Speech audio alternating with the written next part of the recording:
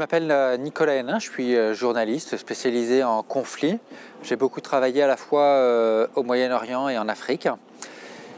Et puis j'ai évidemment couvert la révolution syrienne qui s'est transformée en, la guerre civile qu'on connaît.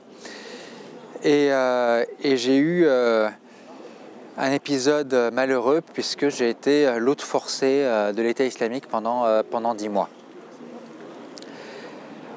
Là, j'ai sorti euh, deux livres qui, euh, à première vue, n'ont absolument rien à voir. Le premier, c'est Jihad Academy, c'est euh, un essai sous-titré Nos erreurs face à l'État islamique. Et l'autre, c'est Papa Hérisson entrera-t-il à la maison? C'est un album pour jeunes, pour des enfants à partir de 5 ans et jusqu'à à peu près 95 ans. Et, ces livres ont, a priori rien à voir et en fait, ils sont simplement frères jumeaux. Ils ont été écrits dans des circonstances très différentes. Le premier, je l'ai écrit, euh, enfin, l'album pour enfants, Papa Hérisson, je l'ai écrit euh, en captivité. Euh, il est né d'une réflexion avec mon compagnon de, cellule, Pierre Torres, qui signe les dessins. Et, il s'adressait en fait à, mes enfants, qui me manquaient tellement pendant, pendant ces mois de, de réclusion.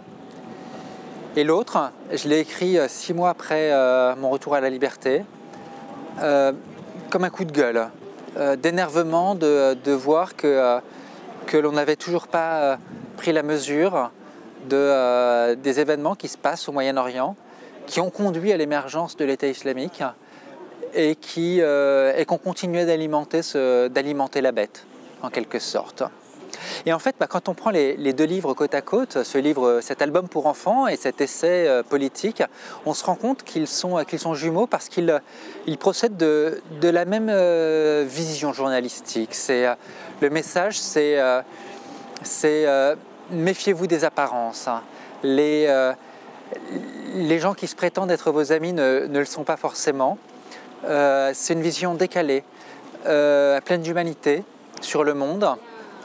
Euh, et, ça reflète vraiment en fait mon, ma vision du journalisme. Et puis en même temps, c'était, euh, je me rends compte que, que c'était euh, la façon que ces deux livres m'ont permis de, de, payer mes dettes après, après cette année perdue à ne pas faire grand-chose. payer ma dette vis-à-vis de mes enfants, à qui j'ai tellement manqué, et payer ma dette aussi vis-à-vis -vis des Syriens qui m'avaient tellement aidé, pendant mes reportages précédents.